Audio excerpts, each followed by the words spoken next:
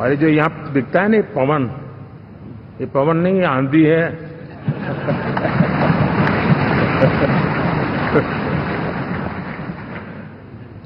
आंध्र ने इतना बड़ा ज, हमारे प्रति जनमत दिया है हिंदुस्तान के लिए एक सामान्य मानवीय की विकास की जो जिजीविषा है उसका प्रतिबिंब है।